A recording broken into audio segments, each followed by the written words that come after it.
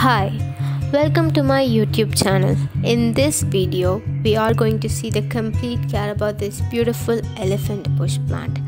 Actually, most of the people in India recognize this as a jade plant, but this is not a jade plant. This plant name is elephant bush plant and it is a succulent. Actually, this is the original jade plant. Most of the people mistake this to the elephant bush plant and uh, name it as a jade plant.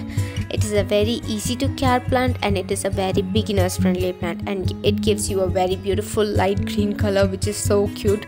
And they need one or two hours of direct sunlight and only have two problems with this which is yellowing of leaf. This is because of overwatering the plant keep this plant in the full sun and it will recover with a beautiful leaf. And the second problem is wrinkling of leaf which is shriveling like this. This is because of underwatering. And keep this plant in the full sun water it thoroughly. They will recover soon. And most of the people use this plant to make cute bonsais in which looks cute and adorable. And this plant grows well outdoor keeping it in indoor gives you a lot of chances to get a root rot. And keeping it at outdoor doesn't.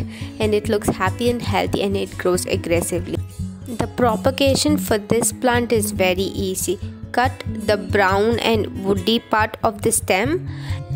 Place it in water or soil. After 20 to 30 days you can see gorgeous big big roots. Thanks for watching